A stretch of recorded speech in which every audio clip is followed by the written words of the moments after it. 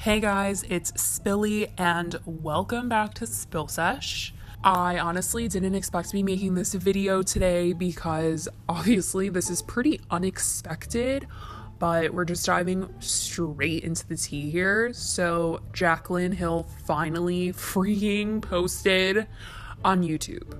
She posted a YouTube video and honestly, it was nothing like I could have expected it to be.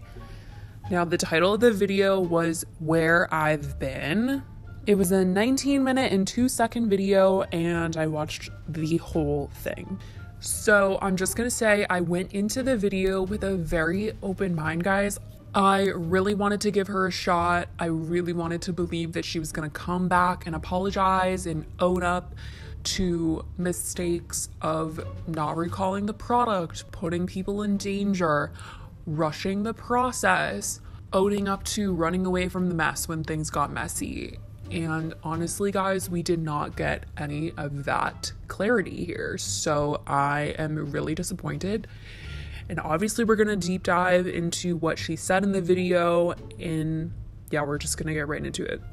I want to say in this video, before I really get started, that she did say she was sorry. But do I believe her? Do I believe this? I, um, no. Not for a freaking second do I believe that Jaclyn Hill is sorry for what she did.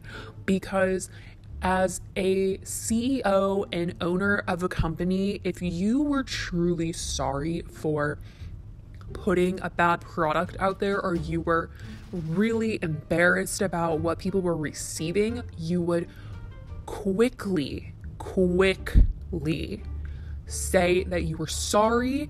You would try to get a refund. If you saw people were in danger with metal shards, glass shards, you would immediately call a recall. She really, really waited it out to give everybody a refund. And I mean, she even addressed this in the video where she did call out the girl that tweeted about the lipstick in the beginning and she lashed out at her. That was the only thing that she really went into. She didn't talk about the recall, she didn't talk about any of the allegations that were against her, about what was in the lipstick. None of that. None of that was discussed, and that's truly disappointing because we needed answers as to how that happened, why that happened, and why she didn't do anything about it quick enough, and why she didn't do a recall at all.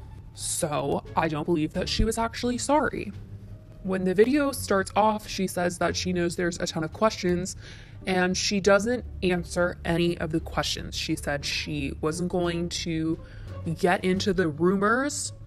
And I think that if she really did, it would have saved her a little bit. At least in my eyes, I would have felt that this video was genuine. So she doesn't answer a single question in this whole dang video about that. And guys, I swear, I really did go into this trying to be open minded, but this woman really only came back so she could move on with her life on YouTube as if nothing happened, just like how James Charles came back in five seconds after the Tati incident, because she has a collab coming out with Morphe. Okay? Like, point blank, period. She even mentioned that she has something coming up soon. I've had several meetings, gotten together with my team, been working on new products, working on new labs. Thank you, God, that a launch that I have down the road is with a completely different lab than the one that I launched my lipsticks with, so we have not had to cancel that. If you guys have seen some of the other tea channel videos, recently it was revealed that she was working with Morphe on a dip brow line. So this whole video was ruined for me. The whole thing felt like a lie. It did not believe a single thing she was saying. I don't believe any of the apologies, the I love you guys, the I care about you so much. I don't think she cares about any of her fans. I think she looks at them and sees dollar signs and is upset and sad that people don't trust her anymore because that's money she could have earned with amazing lipsticks. If she had an amazing launch, she would be making money, but instead she lost money. I think that is what she is most embarrassed about, and that is what she is most sorry for. That something went wrong. And you know what? If there was just something that had gone wrong and she addressed it quickly and was so absolutely amazing about it, I don't think anybody would have come for her the way that they did. The only reason why there were so many tea videos, people were saying so many things to her on Twitter and Instagram and commenting on the Jaclyn Cosmetics Instagram was because she refused to stop putting people in danger and she wouldn't recall the lipstick, even though there was a petition for it. She mentions that she did not run away from social media, that she did not delete it to run away and make it all go away. But that's exactly what she did. And the only reason why she's back is because she has to promote something for Morphe soon. So everything here is a lie. She's saying that the reason why she wasn't on Twitter and on Instagram, why she deleted all the apps, is because she kept looking up her name. And if that's the reason why you deleted it, that means you're running away from the problem. You don't want to hear the advice people are giving you, you don't want to hear the criticism. Honestly, if she had watched one tea video, yes, it would have made her feel a little bit embarrassed, but there wasn't a single person that didn't tell her what she maybe should do, and I think that could have saved her. A recall would have saved her image completely.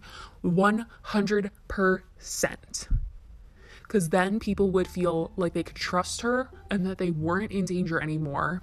I just don't understand what she had against the recall. So, yes, she's coming back to YouTube and she's got something new coming out. This isn't some big revelation where she's decided, I have to go back because I want to or because I really do love and care about my subscribers. That's that's really not it's not it. It's that's not the vibe i'm getting. You only have a certain amount of days after you deactivate your social media accounts to reactivate them before they're gone. You don't have access to them. So she's getting closer to that point and she's pretty much obligated to come back at this point if she wants to keep making money online. She does blame a lot of the people around her for going into hiding. She said that the people around her told her that she should just ignore what was going on, act like nothing happened, let it all blow over. And honestly, she was trying to say that she felt like that wasn't the right thing to do and i think she's just putting the blame on other people uh, to make it seem like everyone was telling me that i needed to be quiet and just wait it out and that's why i wasn't really here. But i decided not to go and listen to them and i'm making this video. Absolutely not I don't believe for a second that Jaclyn Hill had the kahunas to say to her friends and her family, no, I'm actually not going to stay in hiding. I'm going to make my video because I'm going to be a big girl. I I don't know a single person that would be like a publicist or anybody that could work for her and tell her that hiding was a good idea. So I think she really went into hiding because she was embarrassed, which is totally understandable but she should have done a lot of things before, like the recall. I know we can't go back in time, I know I keep talking about it, but that was such a pivotal thing and the main reason why she got so much criticism. And the fact that she can't address why she never did that is beyond me. And I truly just can't accept this apology that she's trying to sell to us, not with all the facts that are around it. So, guys, let me know how you felt about her video. I know this video was really about opinion and I'm really just trying to lay it all out there that she does have a collab coming out soon and she even mentioned it in this video, which just leads me to seriously believe that's the only reason why she made this video. I don't think she would have come back this soon if otherwise. So guys, let me know how you guys feel about this. This is a pretty crazy situation, and let's all just sit back and process it and see how this goes. So, yeah, I will talk to you guys in my next video. Bye.